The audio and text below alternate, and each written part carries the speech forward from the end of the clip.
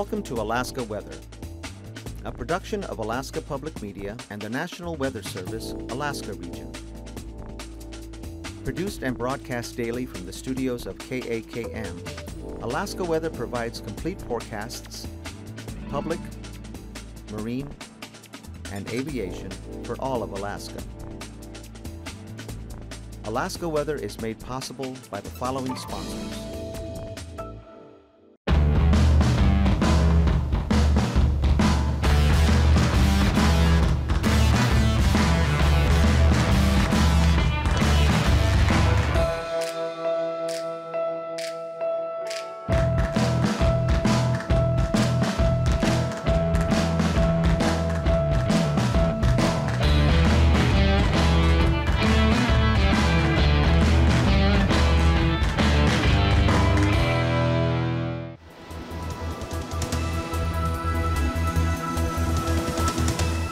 The National Weather Service. Hello, everyone, and thanks for joining us for this Saturday's edition of Alaska Weather. On the uh, breakup advisory map, uh, it's uh, beginning to, the Yukon River, beginning to see some ice run along the, uh, right in through there from about Tanana on down to the Galena, seeing uh, some movement in the ice now, some open water there toward Galena and also some open water upstream towards Stevens Village. Uh, Tanana pretty much open now all the way there in the uh, Koyukuk River showing mostly open up to the north there and then still iced up as it approaches the Yukon. Looking at the satellite imagery of uh, uh, the next front that brought more rain up into the North Gulf Coast today with Kodiak picking up about over an inch, a little over an inch, 1.13 in the 24 hour period ending at 4 o'clock. Bering Glacier had about the same amount. Uh, otherwise, Yakutat had a half an inch and then a little less over the northern panhandle with about a quarter of an inch across those areas and even less than that down to the south where the front was very weak when across the southern southeast coast. Otherwise, up the valley, Talkeetna had a third of an inch. Otherwise, one to two tenths fell across the Copper River Basin and some areas of moisture getting even north of the Alaska Range there and into the White Mountains. Uh, Denali Park farther back down to the south had about a tenth of an inch. Otherwise, some pretty good sunshine today here over the western interior, right down into Bristol Bay and the Alaska Peninsula with uh, the clouds here, the next system spreading rain into the Unalaska area and eventually the Alaska Peninsula here. About a tenth of an inch falling at St. Paul in the last 24 hours. Then a lot of cloudiness and some more moisture back out to the west. On the chart, here's that front that's uh, brought the light rain into the Unalaska area and also some gusty winds, 15 to 30 miles an hour from the southeast here up across the Alaska Peninsula, Western Peninsula, and the Pribilofs, and then a lot of showers and clouds back out to the west to another low there out toward uh, Shemya and Attu. Here's that 1,000 millibar low there southeast of Kodiak Island, brought the gusty winds and over an inch of rain in to the state airport earlier today. And that front also brought gale force winds here to the North Gulf Coast. Uh, earlier today, but that moving inland now and weakening, really weakening just a weak trailing edge back across the southern southeast coast. Uh, this afternoon, clear skies, 57 degrees, so about all it did was bring some cooler air into the area down, knock temperatures down a good uh, 10 to 12 degrees from what they saw yesterday down in that region. Otherwise, up along the Arctic coast, uh, high pressure up there, light winds made for uh, areas of fog and low clouds with uh, along the, well, this morning. And that same forecast for tonight, just some patchy areas, areas of low clouds, patchy dense fog up there. And then this uh, low over the upper Yukon Valley looks like numerous showers across the uh, Tanana Valley and into the White Mountains uh, tonight and even some occasional rain there. And these showers trail back to the southwest down the river valleys there all the way to the Kilbuck Mountain areas. But uh, just some scattered showers here across south central Alaska and along the North Gulf Coast. And fair skies, uh, maybe some lingering showers over toward Hyder or Stewart there. There's a band of moisture left of that remains of that front, moves mostly into Canada. And then this trough here again bringing the showers mostly wrapping around that low in toward Kodiak Island. Should stay fair here for south central Alaska back down in toward Bristol Bay with uh, just variably cloudy skies. And then that front keeping it wet over the Alaska Peninsula Becomes a little more showery over the eastern Aleutians and the Pribilofs tonight, but this front really not going to make much more eastward progress, bring a threat of rain into the Nunivak Island area. during the nighttime hours, and then a break for Shemya or for Adak and Atka. More showers out towards Shemya with that low, and then the forecast for tomorrow, we'll see that uh, high pressure stays off the coast here, so you have light northwest breezes along the coast. Still a risk of a shower, partly sunny skies, isolated shower or two, kind of band of moisture here sliding northwestward, but along and just east of the border. So really not much of anything at all. Be pretty dry with a few breaks in the overcast down there. And again, isolated showers up along the North Gulf Coast, uh, maybe a little more uh, scattered here in Prince William Sound, the southern coast of the Kenai Peninsula, but south central Alaska, partly sunny, uh, isolated afternoon showers, and then an area of pretty good rainfall here from the Brooks Range southward through the Koyukuk Valley and the western upper Yukon Valley.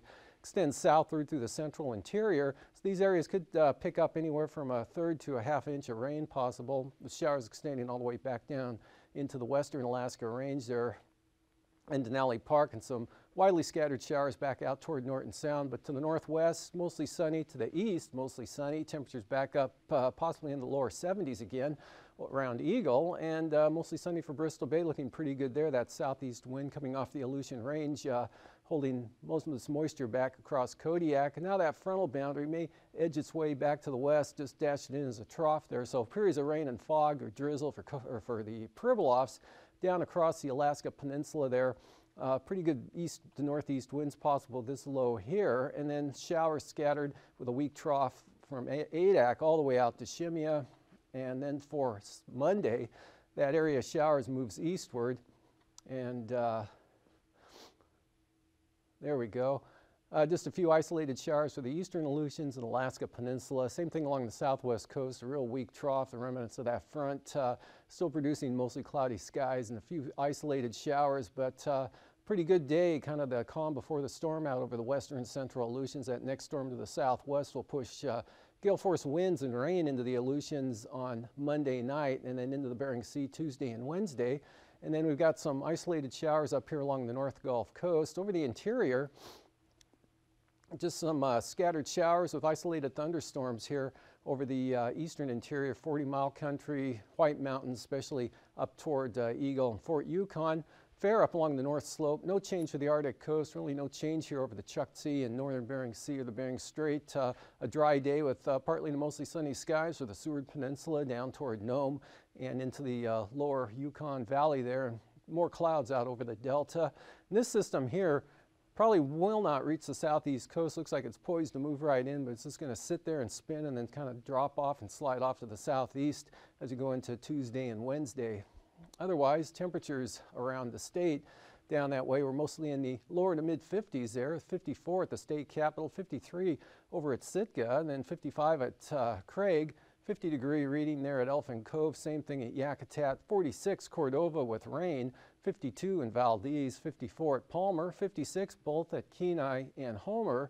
Copper River Basin, Gulkana picked about tenth of an inch of rain. They had 48 this afternoon, milder 57 with uh, less clouds there at Northway, 54 at Delta, 59 Fairbanks, but uh, Tanana up to 65, and then the warm spot in the state was 72 over at Eagle, 66 for Yukon, and 63 over at, uh, in the Koyukuk Valley at Bettles, 48 in Anaktuvuk, and up to the north along the Arctic coast. The lower to mid 30s, uh, Wainwright pushing up above the freeze point, as did Point Lay and Cape Lisburne, freezing at uh, Point Hope, 34 both at Kivalina and Kotzebue, about the same down at Deering. 39 at Golovin and a little cooler at Nome with 35. 62 today at McGrath and then mid to upper 30s down the lower valleys and then into the deltas, cooling off to 50 at Bethel, mid 30s out along the coast. Off to the southwest, it uh, looked over the Pribilofs, looked uh, temperatures were in the, well, near 40, 39 at St. Paul to 42 there at St. George. 49 over the eastern Aleutians there at Unalaska, 52 at Sand Point with uh, milder 56 degree reading up at King Salmon. And for the lows tonight, lower to mid 40s there across the southeast coast with uh, 20s for the North Gulf or for the Arctic coast up to the north and 20s to 30s through the Brooks Range. Look for uh, 40s, mid to upper 40s to lower 50s over the upper Yukon Valley, south central Alaska, upper 30s to lower 40s, and a little cooler over the Copper River Basin, 30s to lower 40s out along the southwest coast. Taking a look at the highs for tomorrow. Mid to uh, possibly upper 60s here over the eastern interior, 20s back along the Arctic coast, there to lower 30s on the east side, mid to upper 50s here over the southwest interior. Same thing for Bristol Bay, 40s for the Alaska Peninsula and the Aleutians, and the Pribilofs right up around 40 degrees tomorrow, 34 for Gambell. Mid 50s, mid to upper 50s here for the southeast coast, about like today. And then taking a look at flying weather. Uh, marginal VFR possible here with that area of moisture again that's sliding northwestward along with the upper level jet here, just catching the eastern border areas there, mostly central and south. Uh, VFR here for the remainder of the panhandle. Marginal VFR from about Yakutat up across Prince William Sound to the Wrangell Mountains and then back down to the southwest along the south coast of the Kenai Peninsula to Kodiak Island with VFR here forecast for much of the southern interior. Then with all that uh, rain and showers here, marginal VFR from the eastern Arctic coast across the east central Brooks Range right down into the uh, central interior here and then a little bit back to the west toward uh, Norton Sound. Marginal VFR over Norton Sound, the western Arctic coast there with IFR extending from St. Lawrence Island all the way down the southwest or across Nunivak Island there near the Pribilofs and then back down where that frontal boundary kind of stalls out in this area of the Alaska Peninsula uh, tending to improve there over the Unalaska area, probably marginal VFR to VFR back toward Nikolski, then more low conditions back here to the west uh, from about Adak on out. And for passes, uh, looking pretty good up to the north, uh, Anaktuvuk, marginal VFR, and for Atigun, marginal conditions as well there. Possible IFR in the morning hours on both those passes. Lake Clark and Merrill look for VFR either approach and for both west and east entrances of Rainy VFR, Windy VFR, and Isabel VFR. Mentasta looking pretty good as well with uh, VFR conditions forecast as is Tahneta. And for Portage, optimistically marginal VFR on even on the eastern entrance. Possibility of seeing some IFR on that east side. For Chilkoot and White, VFR looking at the freezing levels, kind of a big cool pool here over the Gulf of Alaska up and across uh, the southern interior at about 2,000 feet. But here's that gradient and then that moisture sliding up right along that thermal gradient with an upper level jet. And about 8 to 6,000 feet here, 4,000 feet all the way up to the uh, Selawik Valley. Cooler conditions back out over the western Bering.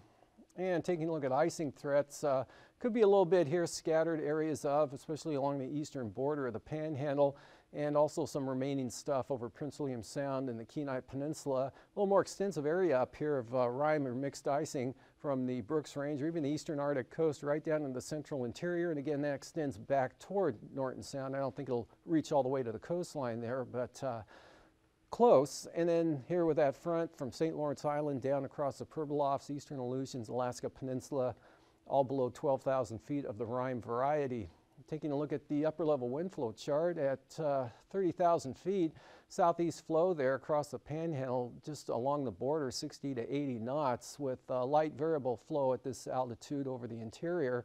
In fact, uh, 9,000 feet doesn't show much difference. It's pretty light, but southeasterly 5 to 15 through the interior, stronger 20 to 30 knot winds here over the North Gulf Coast and about 30 knots from the southeast over the Alaska Peninsula, even stronger on the southwest coast with 30 knot winds up to St. Lawrence Island. Then back around to the northwest at 30 knots there coming across Nunivak Island and Aleutians lighter winds. 3,000 feet, southeast 30 across the peninsula, northwest 30 back across the eastern Aleutians, lighter winds out to the west. Southeasterlies 25 to 30 Kodiak Island, 30 to 40 knots along the southwest coast, and a band of 15 to 25 knot winds around this low center there right over the Koyukuk Valley, but light variable conditions for the Copper River Basin. Easterly still at about 20 for the North Gulf Coast and light winds for the Panhandle. Lake, uh, turbulence, uh, let's see, that's probably Kodiak Island, the light to isolated moderate varieties below six to 8,000 feet, Alaska Peninsula, back up to the northwest into the northern Bering near St. Lawrence Island, and then with that northwest wind wrapping back around, could be some isolated moderate chop along and on the lee side of the eastern Aleutians. And after the break, I'll be back with the marine forecasts. The flood that buried Fairbanks in water that was four to five feet deep started on August 8th, 1967. We had strong southwest flow in, the 19, in August 1967, and this provided a very large area of moisture from the North Pacific and the southern Bering Sea to be lifted up and into interior Alaska. we had a stationary frontal boundary uh, persist across interior Alaska for over a week. So as weather systems moved in off the North Pacific and into the Bering Sea, they moved across this frontal boundary. So we had continuous weather systems moving right across the interior, which kept bringing more and more rainfall to the Fairbanks area. Now, there are a lot of conditions to help create this extensive, this persistent rainfall. And of course, moisture is one of them. But moisture from a typhoon? It was Typhoon Hope, which had been spinning around in the, uh, the western Pacific, got pulled up into this flow and that warm, moist air from the typhoon got pushed into the interior. Normally, the Alaska Range prevents a lot of moisture from making its way into the Fairbanks area or into the interior. In August of 1967, that heavy influx of moisture from Typhoon Hope took a different path. You've got the Alaska Range here, the Brooks Range here. There's really no high terrain here, and that moisture just can slide right in and right into Fairbanks. And with when it, it came along this uh, stationary boundary, and uh, and then the hills to our north. Yeah. You know, all that air had to be lifted up, and it cooled, and it caused it to, um, you know, enhance the precipitation. So, what was learned as a result of the 1967 flood? Well, it cost $240 million to build, and so far there hasn't been a flood since 1967. The closest Fairbanks came to flooding again was on June 4th, 1992. The Flood Control Project is upstream of downtown Fairbanks. If the water is expected to reach a certain level in downtown Fairbanks, um, they'll lower the gates here and start shaving off some of that water. If this floodway fills up all the way, the water will eventually get overtop this sill and go into the Tanana River and be diverted totally around Fairbanks. Over 12,000 people were evacuated it was so strange to see this current going down the street and the boats going by. And then we, we got to Barnett Street. It, it was a little different then, but I just remember the so many the rough water. He thought something was internally wrong. Something had happened inside the house, like a pipe had burst or the sewer had backed up. He had no idea, none of us had any idea that the whole city was flooded. I mean, that was the furthest thing from our mind, thinking about the city flooding. Uh, so it, there was no panic. There was just, oh, we got a big problem. Well, I was almost five, and you know, I just remember bits and pieces. Uh, I remember, I remember never being scared and thinking how cool it was watching the water rushing in around the cracks of, of the front door of our friend's house where we were uh, staying at the time. Military came and picked us up from our house in a boat so here's a four-year-old me sitting on the front of the boat thinking I'm just captain of the world. There were a lot of very worried people, but everybody was pitching in and helping everybody else. And then I found out we were actually going to be staying inside a high school on the second floor. It was at Lathrop High School on the second floor, which was a cool thing to me too because I lived in a one-story home. The Lathrop Hilton was very busy, of course, with boats arriving and people coming. They wanted the names of everybody there. And then we were in touch with who was staying out at the universities. Always great confusion. I remember being lifted out the next day by helicopter to the university from the rooftop. Uh, I remember that part, and I remember sleeping on tables up at, the, I believe it was the Gruening buildings. The most frightened part, the river had washed the uh, bridge away, and there was a beam that we had to walk across, this raging torrent, and I can remember having to walk across that with my mother and being very frightened. And I remember that being the only real scary part. The rest of it, uh, from a five-year-old's perspective, was pretty cool. If I learned anything, it was that there's no need to panic as long as safety's first and as long as everyone's safe. The rest is just property. What makes you stay? Well, I guess the people. I've always had such a good time here. I enjoyed teaching. I liked it when I worked at the News Miner. I'm involved in lots of things here. I just, I just like the people. Well, first of all, I, I talked to some of the old timers, and they said, oh, we'll get maybe a little bit of water in the basement. So I listened to the old timers, but I also, something in my gut told me that this wasn't, uh, this could be a problem. It was a continuous rain. I mean, there'd be very few breaks. And this thing came in the, in the, in the night, you know. I got a hold of Bill Wally and I said, hey, Bill, get on the radio and tell them that we may be having flooding here. And we woke up and uh, the next morning and the city was underwater. They handed me a sleeping bag and a radio. Safeway was across where the post office is now. They looked like they might have had a half inch of water in there. They were pumping it out and trying to keep it out. Was there concern about looting? Well, there wasn't to start with.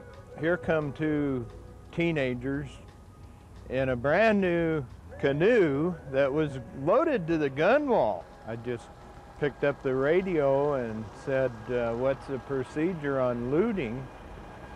And immediately, Red Boucher's voice, the mayor of Fairbanks, came back and said, unhesitatingly said, Shoot on sight.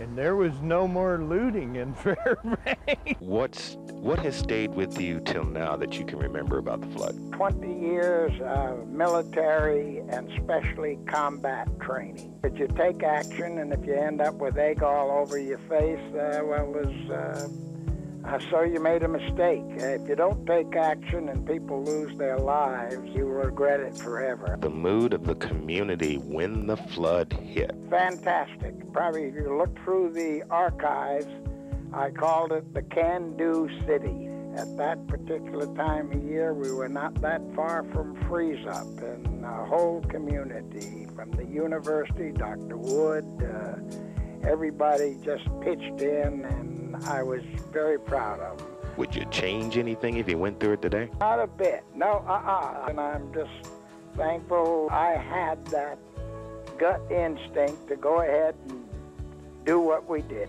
I live in Anchorage now, but Fairbanks will always be uh, my home of heart. They're just a different bunch of people, true pioneer spirit. Uh, so, hey, anything we want, anything we set our mind to do in Fairbanks, we get done. Welcome back. Well, this area of ice out in the Bering is expected to take a jog off to the northwest, especially when that next storm uh, moves into the Bering and those east-southeast winds pick up first of next week. Otherwise, moving on to the southeast coast, uh, winds southeast up here at about 20 knots on the north coast. Otherwise, westerlies to northwest uh, 10 to 15 knots, northwest up to 20 knots with four foot seas there for Clarence Sound. Otherwise, southerlies uh, from uh, Stephens Passage right up through Lynn Canal tomorrow afternoon, only at about 10 knots with slight seas. Then we'll go northerly for northern Lynn Canal on Monday at about 10. No change here for uh, Stephens Passage, northwest 20, no change down there for the southern inside waters. Southeasterlies at about 20 out here along the coast, more easterly on the north coast and more southerly down to the south. Small craft advisories for the western Gulf Coast, the Barren Islands, and the waters east of Kodiak Island tomorrow for east northeasterlies at about 25. Cook Inlet northeast 15 to 20, east 15 for Prince William Sound, northeast about 20 for Shelikof Strait. Then look for uh, small craft advisories for the North Gulf Coast, 30 knots with 13 foot seas uh, for Monday, and then uh, dropping back to about 20 knots here for the Barren Islands, Kamishak Bay. Lighter winds for Cook Inlet, northeast 20 for Shelikof Strait, northerly winds there on the east side of Kodiak Island, northeast 15 for Prince William Sound. For Bristol Bay, small craft advisories tomorrow, southeast to 25, and then from Sitkinak all the way along the Pacific side of the peninsula there, easterlies 25 to 30 knots, much lighter on the Bering Sea side with five foot seas. And then on Monday, light southwesterlies at about 10 knots here, pick up to roughly 15 knots with six foot seas there toward Bristol Bay, southwest at about 20 here on the Alaska Peninsula. And then out in the Aleutians, tomorrow, small craft advisories for northwesterlies, 25 to 30 knots here for the eastern Aleutians. Westerlies 15 to 20 knots for Adak and Atka, and then light variable winds here, no gradient out toward Shemya and Attu, west of uh, Amchitka. And then those uh, swing around to the southeast, pick up to 20 knots. They're not too big of an increase. Southeast 15 there west of Adak, and the central Aleutians south to southwest at 15. Lighter winds, southwest breezes 15 to 20 knots across the Fox Islands. And for the southwest coast, uh, small craft advisory, southeasterlies 25 knots. That front staying right about in this position through tomorrow, keeping those winds up there. Southeast 20 for St. Lawrence Island. Lighter southwesterlies here back towards St. Matthew Island. Northwest 20 for the Pribilofs. And then the outlook for Monday, southwest 15 for the Pribilofs. Next ends right up into Kuskokwim Bay. North of Nunivak Island, southerlies at about 15 with southeast winds at roughly 20 knots there for St. Lawrence Island. Looking at the Arctic coast, northeast winds uh, 10 to 15 knots from the central coast all the way over to Demarcation Point, and then easterlies at 10 knots for the west side, easterlies 20 knots here from uh, Wales all the way up to Cape Lisburne. And then for Monday, southeast 20 here from Wales to Cape Thompson, easterlies there on the southern uh, west side. Otherwise, easterlies at about 15 knots. A little stronger, possibly south icy Cape, but east winds 15 knots for the central coast. Lighter, more variable winds here along the eastern Beaufort Sea coastline. And for tonight, uh, fair lingering showers here over the southern southeast coast, the southeast portion of the panhandle, with clearing up to the north, scattered showers here along the North Gulf Coast, uh, Kenai Peninsula, locally over south central Alaska, more numerous showers across the Tanana Valley, 40 mile country, uh, stretching up across the White Mountains into the upper Yukon. And that'll kind of shift around tomorrow to lie something like that. Uh, again, maybe as much as half an inch of rain falling across the central interior back up through the Koyukuk Valley. Otherwise, to the west, drier conditions, more sun, warmer temperatures, possibly reaching 70 again around Eagle with this stalled out system here keeping it wet over the Pribilofs and the Alaska Peninsula, drying out over the eastern Aleutians. And then a threat of some showers as that uh, weak trough spreads in to the west there, and then just a few isolated showers remaining along the southwest coast. Look for uh, scattered showers, isolated thunderstorms here over the eastern interior, showers all the way back uh, to the Noatak Valley with uh, that rain symbol should not be there. Isolated showers along the North Gulf Coast, uh, partly and mostly sunny for the panhandle as that next system here is going to uh, kind of stay put there, weaken, and then slide off to the southeast. And this is the next system that's going to roll into the Bering Sea or the Aleutians Monday night and increase the storms on Tuesday. These forecasts are to be used for planning purposes only. Call 1 800 WX Brief for a formal pre flight briefing.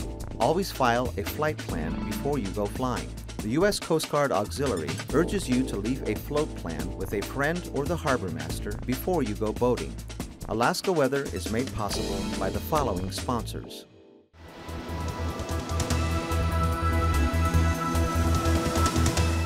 The National Weather Service.